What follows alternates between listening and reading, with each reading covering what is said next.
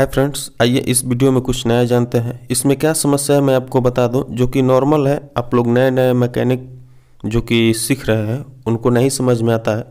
तो चलिए मैं बता दूँ। सबसे पहले देखिए रेड कलर में जो प्रीसेट घेरा हुआ है, इसके वजह से कंपनी थोड़ा इसकी वैल्यू कम लगाती है।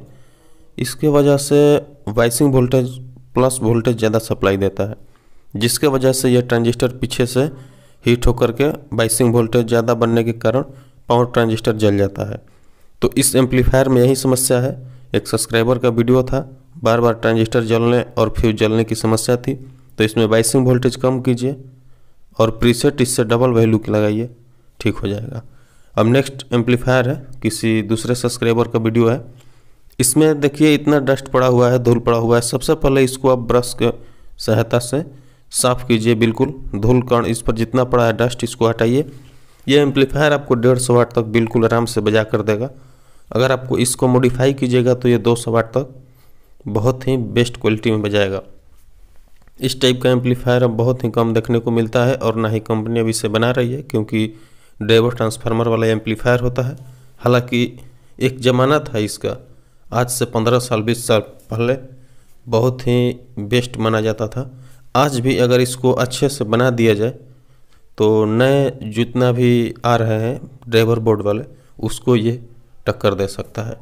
तो आप इसमें सभी पार्ट्स देख सकते हैं। हालाँकि कैपेसिटर ये नया है, बाकी सब कुछ पुराना है।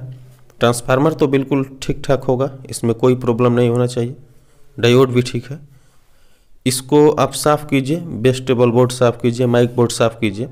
जो भी कनेक्शन में प्रॉब्लम हो, आप मेरा वीडियो देख रिपेयर कर सकते हैं। अब दो तीन दिन के अंदर फुल रिपेयर की वीडियो आने वाली है, आप उसे देख कर रिपेयर कर सकते हैं। हालाँकि एक एक पार्ट हमने बता चुका है। अब आइए एक अगला वीडियो नेशनल का ही पचहत्तर वाट में दिखाते हैं। इनका क्या समस्या है, देखिए। ये इतना सड़ा हुआ और इतना पुराना एम्पलीफायर है, पच्चीस तीस साल पहले का, कि इसको नहीं बनाया जा सकता है, लेकिन अभी फ़िलहाल इतना वक्त नहीं है कि इसको बनाया जाए। तो भाई साहब, यही सलाह मैं दूँगा आपको। इसको हटा दीजिए। बेस्ट ट्रेबल दूसरा किट ले लीजिए।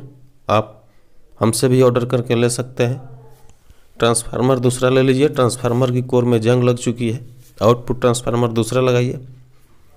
और इसका मदरबोर्ड जो कि पावर सप्लाई बोर्ड होता है, ये वाला, ये ठीक है।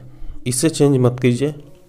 लेकिन ये जो माइक बोर्ड है, बेस्टेबल बोर्ड है, इसे चेंज करना पड़ेगा।